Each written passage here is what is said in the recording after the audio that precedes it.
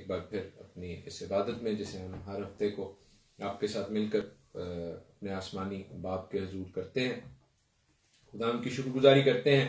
पहले पत्रस की इस ब्लेसिंग के लिए, जिसको हम खुदाम के पाक कलाम में से पत्रस की किताब में से सीखते जा रहे हैं, इन दोनों खतूत को, जो पहले पत्रस का पहला बाब है और पहले पत्रस का दूस पहले पत्रस की पहली किताब है, और फिर इसी तरह दूसरा पत्रस, जो उसका दूसरा खत है, उसको हम बाब दर बाब आयत बायत सीखेंगे इस अपने वीकली प्रोग्राम में और आज हम उसके दूसरे बाब को कंक्लूड करेंगे। पिछली दफ़ा हमने जो उसके सेकंड चैप्टर को देखना और सीखना शुरू किया तो हमने देखा कि इसमें बड़े वाजे तौर पर दो क्लियर पार्ट्स हैं। पहला पार्ट जो है, वो पहली दस आयत तक है, जिसको हमने लास्ट टाइम कवर किया था, जो खुदावन की तरफ़ से हमें ब्लेसिंग्स दी गई हैं, जो प्रिविलेजेस हमें दी गई हैं, उसके हवाले से। और दूसरा हिस्सा जिसे आज हम खुदाम के पाक कलाम में से सीखने वाले हैं, वो ग्यारहवीं आयत से बाप के आखिर तक है, जो कि उसकी पच्चीसवीं आयत तक है। वो क्या है? वो उन ड्यूटीज़ के हवाले से है, वो उन जिम्मेदारियों के हवाले से है रिस्पॉन्सिबिलिटीज के हवाले से है, जो बतौर एक ईमानदार के, एक मसीही होने के, जो कि खुदा के पाक कलाम पर ईमान रखते हैं, खुदा यसूल मसीह पर ईमान रखते हैं, उनकी ज़िम्मेदारी बनती है। सो हमने सीखा और देखा कि पहले वो हमें ब्लेस करता है खुदा, पहले वो हमें आज़ादी और मखलसी देता है और फिर चाहता है कि हम उसके नाम के जलाल के लिए एक वर्दी, एक बाइज्जत ज़िंदगी गुजारें, जो आज इज़्ज़त हमने वर्ड भी सीखा है कैबेर के हवाले से। इसी तरह, जैसे मैंने आपको बताया, उसकी मिसाल दी कि उसने पहले इसराइलियों को गुलामी में से निकाला, फिर उन्हें अपनी शरीयत दी। इसी तरह वो मुझे और आपको भी गुनाह की गुलामी से आज़ाद करता है और फिर अपने घराने में शामिल करने के बाद कहता है कि इस कलाम के मुताबिक ज़िंदगी गुजारो। एंड दिस इज़ इंपॉर्टेंट इसलिए कि पत्रस हमें बताते और सिखाते हैं कि उसके कलाम की क्या अहमियत है और कलाम को किस शौक और जोश से आपने जो है वो हासिल करना है। कलाम कोई आम चीज़ नहीं है। जिस तरह बच्चा अपनी खुराक के लिए, दूध के लिए मुश्ताक होता है, उस तरह आपने उसके लिए मुश्ताक होकर, ईगर होकर कलाम को सीखना है और उसके मुताबिक ज़िंदगी गुजारनी है। और, हमने गुजशत हफ़्ते ये भी सीखा कि किस तरह इंपॉर्टेंट बात है कि खुदा यसुल मसीह हमारी जिंदगियों की इस जो बिल्डिंग है, क्योंकि हम मसीह में पढ़ना शुरू हो रहे हैं, उसका फाउंडेशन स्टोन है, उसकी न्यू है, उसके कोने के सिरे का पत्थर है। So that is very important कि हम उसके ऊपर बनते जाए। आज हमें जो बनना है, जो हमारी ड्यूटीज़ हैं, उसके हवाले से हम कुछ मुख्तरसन सीखेंगे। ग्यारहवीं और बारहवीं आयत को हम पहले पढ़ते हैं इलेवेंथ और ट्वेल्थ वर्ष को, और फिर इनको हम सीखते हैं। खुदा हमें क्या कहना चाह रहे हैं? प्यारो, मैं तुम्हारी मिन्नत करता हूँ कि तुम अपने आप को परदेसी और मुसाफिर जानकर उन जिस्मानी ख्वाहिशों से परहेज करो जो रूह से लड़ाई रखती हैं। और गैर कौमों में अपना चाल चलन नेक रखो। ताकि जिन बातों में वो तुम्हें बदकार जानकर तुम्हारी बदगोई करते हैं, तुम्हारे नेक कामों को देखकर उन्हीं के सबब से मुलायजा के दिन खुदा की तमजीद करें। आमीन।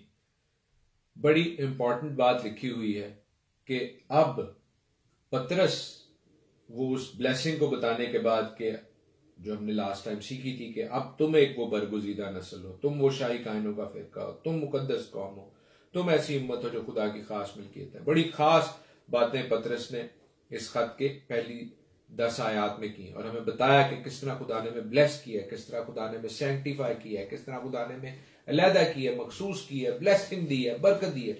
इसलिए जीजो कि हम कोई चीज़ नहीं है। मैंने लास्ट टाइम भी आपको कहा कि जब कोई शख्स, बड़ा शख्स, उसके कपड़े, उसके पेंसिल उसका पेन उसकी टोपी, उसके जूते किसी म्यूज़ियम में रखे होते हैं तो वो आम से जूते हैं वो खास क्यों बनते हैं? क्योंकि एक खास शख्स ने उनको पहना था। इसी तरह मैं और आप भी कोई खास चीज़ नहीं है हमें कोई सलाहियत नहीं है लेकिन मसीह के कहलाने नाम हमारे साथ लग जाने की वजह से मसीह का लहू हम हम जब अपने ऊपर ले लेते हैं तो हम खास बनते हैं। सो so, इसीलिए अब पत्रस हमें कह रहे हैं नाउ इज़ रिक्वेस्टिंग अस कि आप अपने आप को इस दुनिया में मुसाफिर जानकर परदेसी जानकर उन जिस्मानी ख्वाहिशों से परहेज करो जो रूह से लड़ाई करती हैं, क्योंकि जो फ्लैशली डिजायर्स हैं, जो जिसम की ख्वाहिशें हैं, उनके हवाले से गलतियों के पाँचवें बाप की सदरवीं आयत में लिखा है। हम गलतियों की किताब में जाएँगे।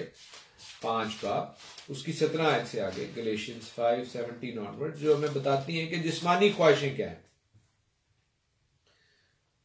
क्योंकि जिसम रूह के खिलाफ ख्वाहिश करता है और रूह जिसम के खिलाफ और ये एक दूसरे के मुखालिफ हैं ताकि जो तुम चाहते हो वो ना करो। अगर तुम रूह की हिदायत से चलते हो तो शरीर के मातहत नहीं रहे अब जिसम के काम तो ज़ाहिर हैं। यानी हरामकारी नापाकी शहवत परस्ती बुत परस्ती जादूगरी अदावतें झगड़ा हसद गुस्सा तफर जुदाइयाँ बिदतें बोस नशाबाजी नाच रंग और और इनकी मानंद आमीन। तो ये सारी चीज़ें जो लिखी हुई हैं ये जिस्मानी ख्वाहिशात हैं फ्लैशली डिजायर्स हैं जो जिस्मानी शरीयत के हवाले से, हमें गलतियों में पॉलूस भी कहते हुए दिखाई दे रहे हैं कि ये हमारे जिसम की एक शरीयत है। लेकिन जो रूहानी शरीयत है, जो रूह की शरीयत है, उसके साथ इसका कॉन्फ्लिक्ट है, उसके साथ इसका टकराव है।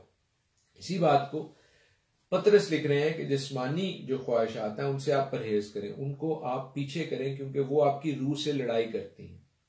और गैर कौमों में अपना चाल चलन नेक रखो, ताकि जिन बातों में वो तुम्हें बदकार जानकर तुम्हारी बदगोई करते हैं। तुम्हारे नेक कामों को देखकर उन्हीं के सबब से मुलाहिजा के दिन खुदा की तमजीद करें।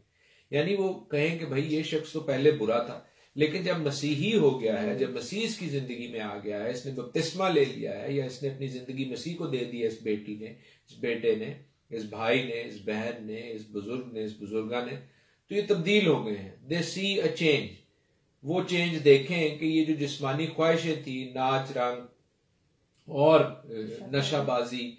और जो चीज़ें थी उनसे ये अब लालच उनसे ये अब साइड पे हो गया। उन उनमें ये नई शख्स पाया जाता या ये शख्स नहीं पाई जाती। क्यों? क्योंकि मसीह इसमें आ गया है। और ये जिसम और रूह का जो टकराव है इसमें पत्रस बेसिकली हमें कह रहे हैं कि लेट अस नॉट कॉम्प्रोमाइज ये वो प्रॉब्लम है जो मसीहत में कलीसिया में भी यानी चर्च में भी और चर्च से बाहर भी हमें नज़र आती है कि कई दफ़ा एक कॉम्प्रोमाइज कर लिया जाता है। एक अग्रीमेंट कर लिया जाता है कि ठीक है, हम चर्च में तो इन चीज़ों से बात रहेंगे, लेकिन बाहर हम ये चीज़ें कर सकते हैं। नहीं this has got to be in around and beyond the church as well यानी हमने इन जिसमानी ख्वाहिशों से, ये कि जी हम चर्च में तो नहीं पियेंगे, या चर्च में तो नाच रंग नहीं करेंगे, लेकिन बाहर हम कर लेंगे। No no. Peter is saying here, मुकद्दस पत्रस जो है बड़े क्लियरली कह रहे हैं कि हमें इन चीज़ों का मुकाबला करना है। And let us not get complacent let us not get in to compromising situation मसीहत के साथ एक बड़ी प्रॉब्लम यही है कि हम कॉम्प्रोमाइज कर लेते हैं। कि ठीक है यार चर्च में तो ठीक थे ना, अब बाहर हम जो मर्ज़ी करें। That is what Peter is saying कि हमने ऐसा नहीं करना। बल्कि वो कह रहे हैं कि इन तुम्हारे नेक कामों को देखकर दूसरी कौमें भी, दूसरे लोग भी जो है वो खुदा की तमजीद करें कि यार मसीह इसमें आ गया है तो मसीह नज़र आता है। ये बड़ा इंपॉर्टेंट पॉइंट है और मैं आगे जाकर इसको मजीद क्लियर भी करूँगा।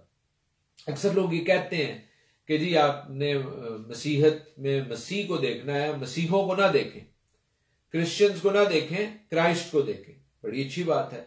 लेकिन क्रिश्चियंस को भी, मसीहों को भी, मसीह को क्राइस्ट को दिखाने की ज़रूरत है।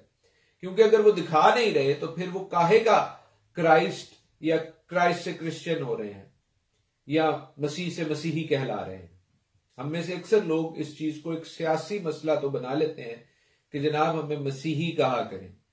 तो भाई, अगर आप में मसीह नज़र आना भी तो चाहिए ना। अगर आप में मसीह नज़र ना आए और आप मसीही कहलाए जाने पर मुजर रहे तो ये बात बड़ी मुनाफकाना है। ये बात बड़ी हिपोक्रेसी को ज़ाहिर करती है। We must show the traits the role model which Christ was through our live as well तेरहवीं आयत से सत्रहवीं आयत तक हम पढ़ेंगे ये हिस्सा इकट्ठा है मैं इसको इकट्ठा समझाने की कोशिश करूँगा। Verses first Peter chapter two verses thirteen to seventeen खुदावन की खातिर इंसान के हर एक इंतज़ाम के ताबे रहो हाँ। बादशाह के लिए के इसलिए कि वो सबसे बुज़ुर्ग है। हम्म। और हाकमों के इसलिए कि वो बदकारों की सजा और नेककारों की तारीफ़ के लिए उसके भेजे हुए हैं। क्योंकि खुदा की ये मर्ज़ी है कि तुम नेकी करके नादान आदमियों की जहालत की बातों को बंद कर दो। और अपने आप को आज़ाद जानो मगर इस आज़ादी को बदी का पर्दा ना बनाओ बल्कि अपने आप को खुदा के बंदे जानो। सबकी इज़्ज़त करो बरादरी से मोहब्बत रखो खुदा से डरो बादशाह की इज़्ज़त करो। आमीन। ये वो हिस्सा है जो पत्रस हमें बड़े खूबसूरती से बता रहे हैं how to live an obedient life in a civil matter civil matters में कंट्री में सिटी में जिस मुल्क में जिस शहर में आप रहते हैं वहाँ पर आपने इज़्ज़त से रहना है आज़ाद तो रहना है लेकिन अपनी हुकूमतों के ताबे रहना है। और पॉलूस भी ये चीज़ बताते रहे हैं कि आला हुकूमतों के ताबे रहो। But we must keep this in mind कि अक्सर लोग इस चीज़ को एक्सक्यूज बना लेते हैं, बहाना बना लेते हैं खुदावंद से और खुदावंत के कलाम से दूर जाने का। ये किसी तौर पर भी बहाना नहीं बनना चाहिए खुदावंद से और खुदावंद के कलाम से दूर जाने का। इसलिए कि अगर आपकी हुकूमतें, अगर आपके बादशाह, अगर आपके हाकिम आपको खुदा की फर्मा बरदारी से खुदावंद के पाक कलाम की, बाबी मुकद्दस की फर्मा बरदारी से दूर करें तो तब हम इन आला हुकूमतों के ताबे नहीं हैं। अक्सर लोग ये आर्ग्यूमेंट देते हैं, लेकिन मैं आपको बाइबल से सिखाने और समझाने की कोशिश करूँगा कि जैसे बेशक पॉलूस ने भी कहा और पत्रस भी कह रहे हैं कि आप आला हुकूमतों के ताबे रहें। तो याद रखें कि पत्रस को और योहन्ना को एमाल की किताब में, जी हाँ एक्ट्स ऑफ़ अपोसल्स में, जहाँ पर उन रोमियो ने जब पकड़ा तो उनको मारा गया, उनको कूटा गया कि भाई आप यीशु का नाम लेकर, इस यीशु अल मसीह का नाम लेकर, आप हरगिज जो है वो मनादी नहीं कर सकते।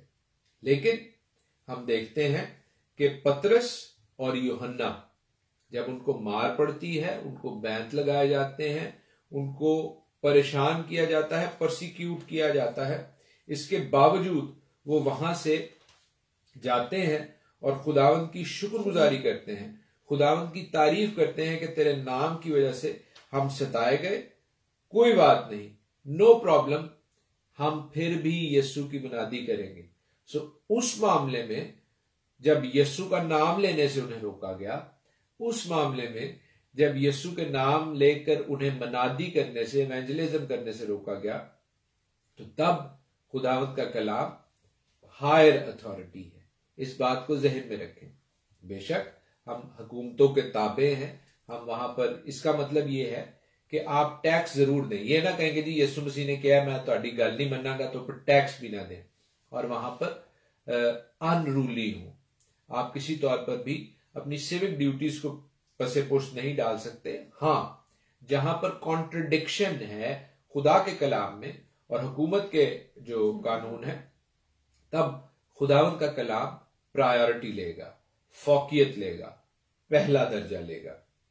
इस चीज़ को हमें समझने की ज़रूरत है, इसलिए कि अक्सर लोग, जैसे मैंने कहा खुदावन के कलाम की नाफरमानी को खुदावन के कलाम से दूर जाने को, इन कुछ आयात के अंदर तलाश करने की कोशिश करते हैं कि जी, पतरस ने भी क्या सी कि आप बादशाह की इज़्ज़त करें और उसका हुक्म माने। और पॉलूस ने भी कहा कि आला हुकूमतों के ताबे रहें तो हम हुकूमत की बात मान रहे हैं, इसलिए हम चर्च नहीं जाएँगे। हम हुकूमत की बात मान रहे हैं, इसलिए हम खुदा के कलाम को नहीं पढ़ेंगे। हम हुकूमत की बात मान रहे हैं, इसलिए हम बाइबल को छोड़ रहे हैं। नहीं, बाइबल खुदावत का कलाम हमारे बादशाहों से, हमारे हाकमों से बढ़कर है। लेकिन हाँ यहाँ पर जो बात पतरस फरमा रहे हैं, उसका मतलब यह है कि आप अपने मुल्क में एक बाइज्जत शहरी के तौर पर, एक अच्छे जिम्मेदार शहरी के तौर पर रहें। वहाँ पर जो आपके जिम्मेदारियाँ हैं कि ट्रैफ़िक में किस तरह जाना है, अपने टैक्सेस कैसे पे करने हैं, वो ज़रूर पे करें। खुदावन के कलाम से जुड़े रहकर खुदावन के कलाम से दूर होकर नहीं। दैट इज़ द की सो हम अठारहवीं आज से आगे पढ़ेंगे eighteen verse to twenty verse ए नौकरों बड़े खौफ से अपने मालिकों के ताबे रहो।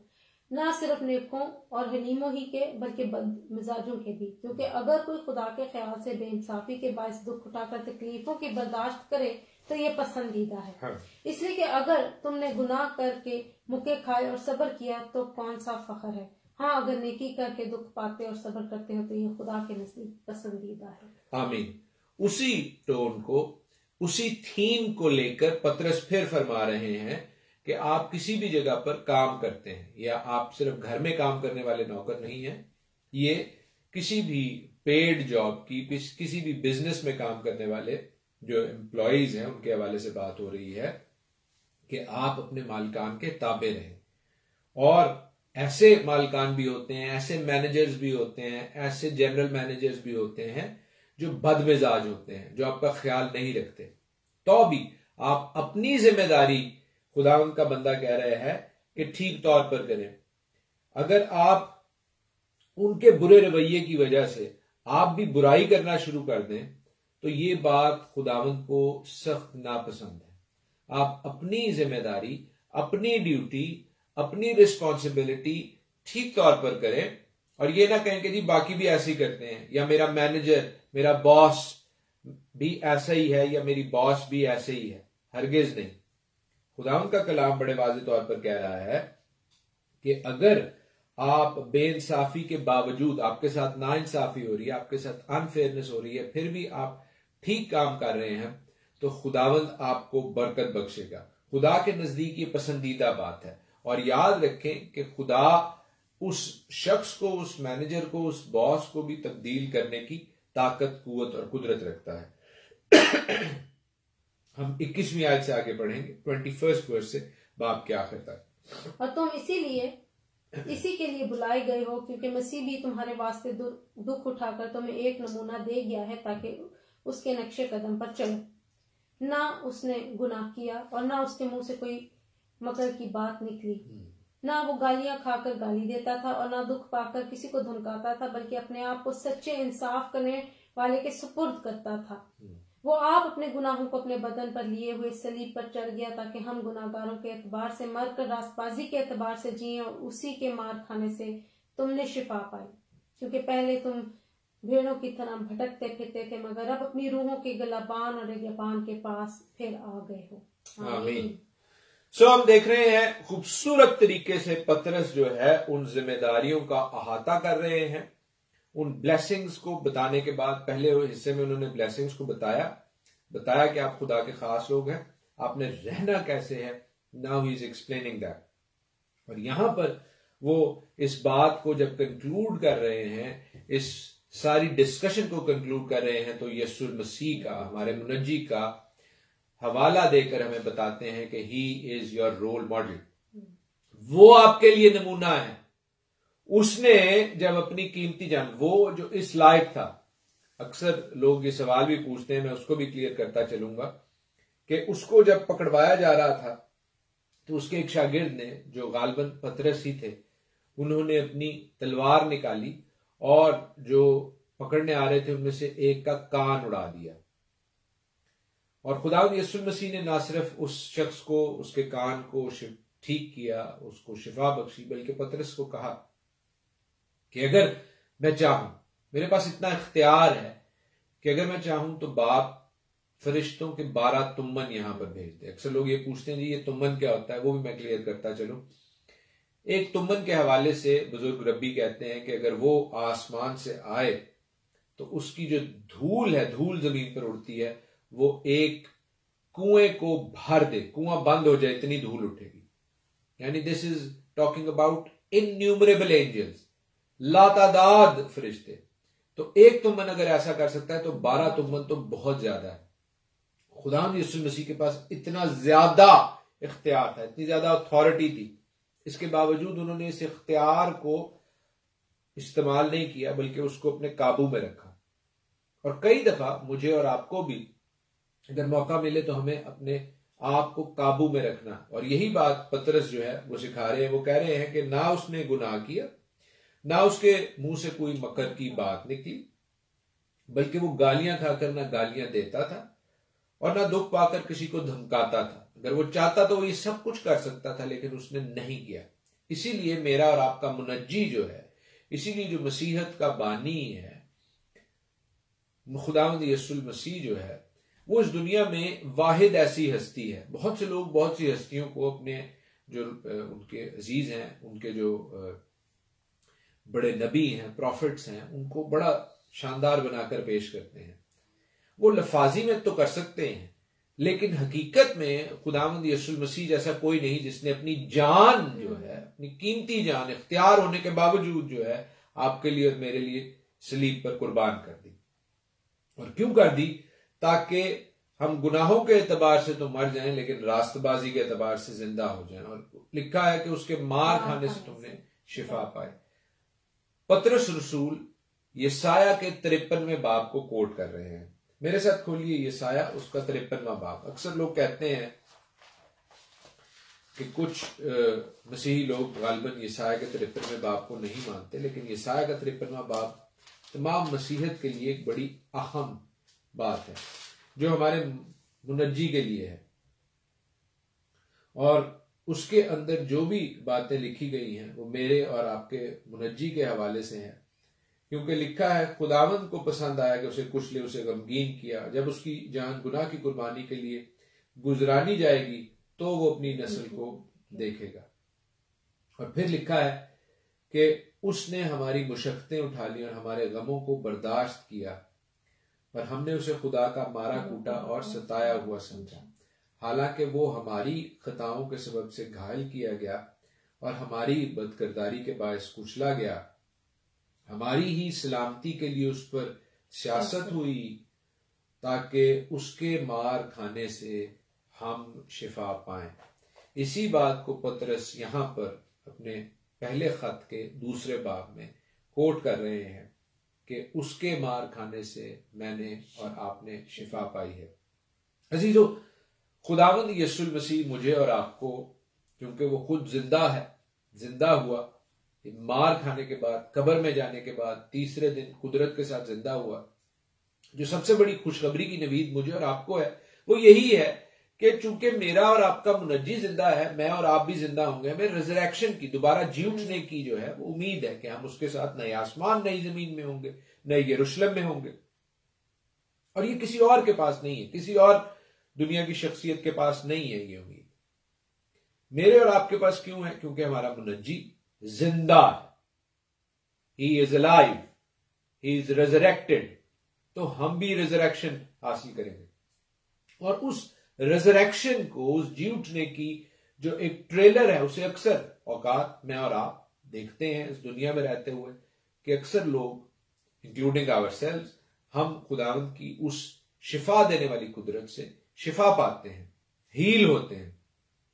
अगरचे एक दुनियावी अमल क्या है, कि मी एंड यू हम सब वी आर गेटिंग ओल्डर हम सब जो है, उस जिस, जिसम का जो खात्मा है, उसकी जाने बढ़ रहे हैं।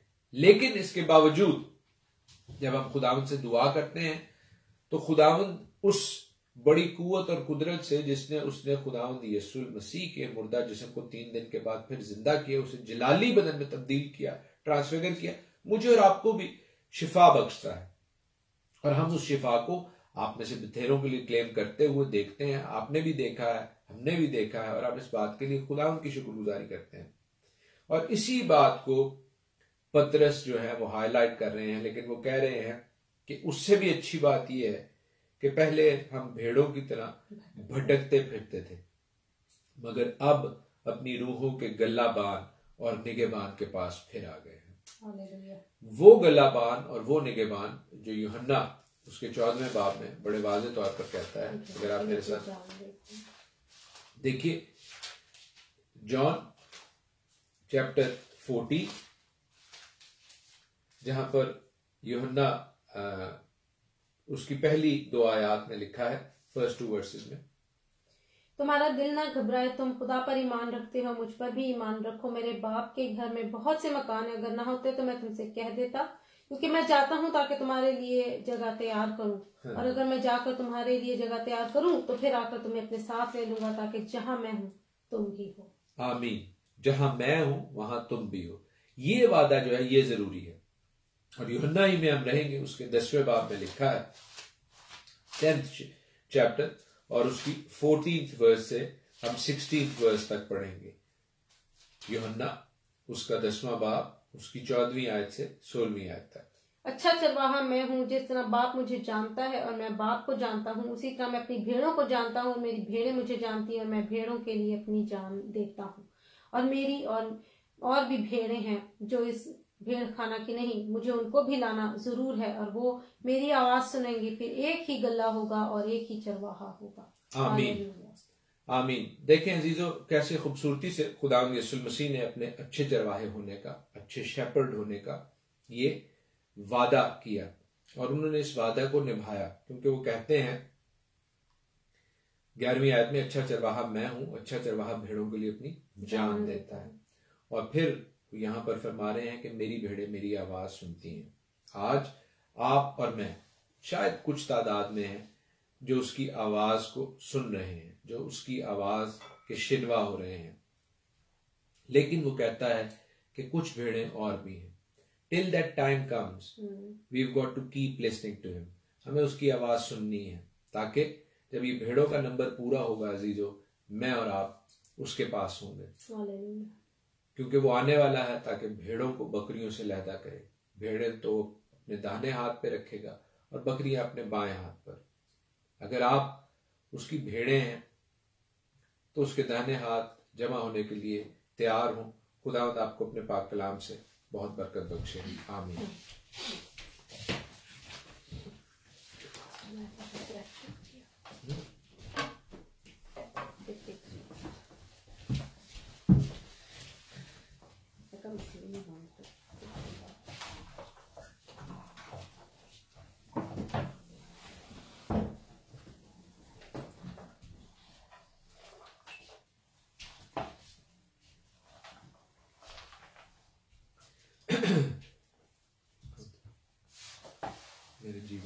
जीवन में इसी तरह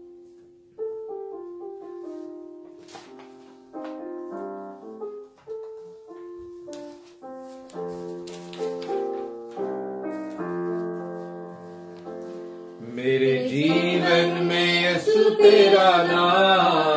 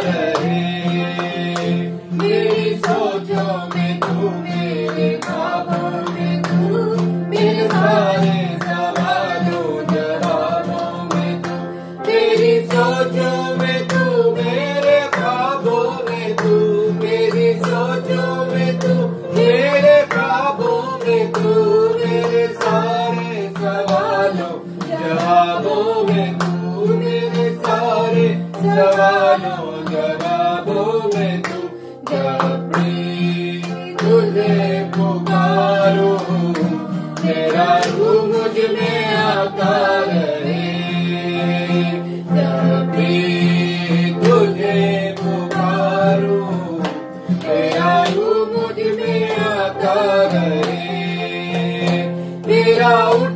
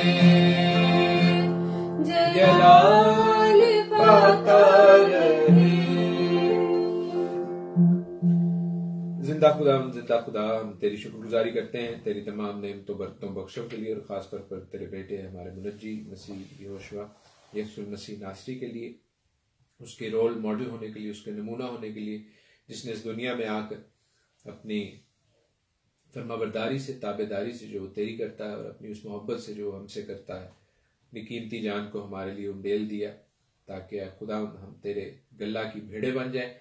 हम उस लहू को कबूल करते हैं, अपने ऊपर, अपनी ज़िंदगी पर लगाते हैं, अपने दोस्तों बहन भाइयों के साथ, अपनी फैमिली के साथ जो इस वक्त हमारे साथ इस बात में शामिल हैं, जो बाद में से देखें, उनके साथ इस लहू के लिए शुक्रगुजारी करते हैं और अपनी ज़िंदगी पर लगा कर खुदा तेरे दहने हाथ अपने सरों को झुकाते हैं ताकि हम अपनी सारी ज़िंदगी तेरे दहने हाथ गुजारने वाले हों, तेरी फेलोशिप में, तेरी हजूरी में, तेरी मामूरी में गुजारने वाले हों। हम पर अपना फजल कर, अपना करम कर हमारी इस दुआ को मिन्नत को सुन कबूल कर मसीह यसु नासी के नाम में। आमीन। आए हमारे बाप तू जो आसमान पर है तेरा नाम पाक माना जाए तेरी बादशाही आए तेरी मर्ज़ी जैसे आसमान पर पूरी होती है ज़मीन पर भी हो।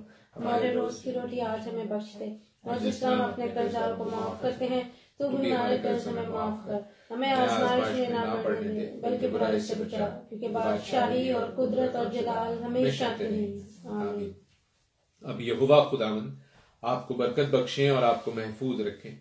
यहोवा खुदावंद, अपना चेहरा आप पर जलवागर फरमाए और आप पर मेहरबान रहे। यहोवा खुदावंद, अपना चेहरा आपकी तरफ़ मुतवजा करें और आपको शालोम बख्शें।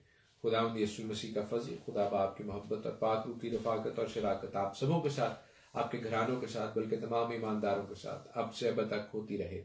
आमीन। जय मसीह की। हर शय मसीह की। Mm.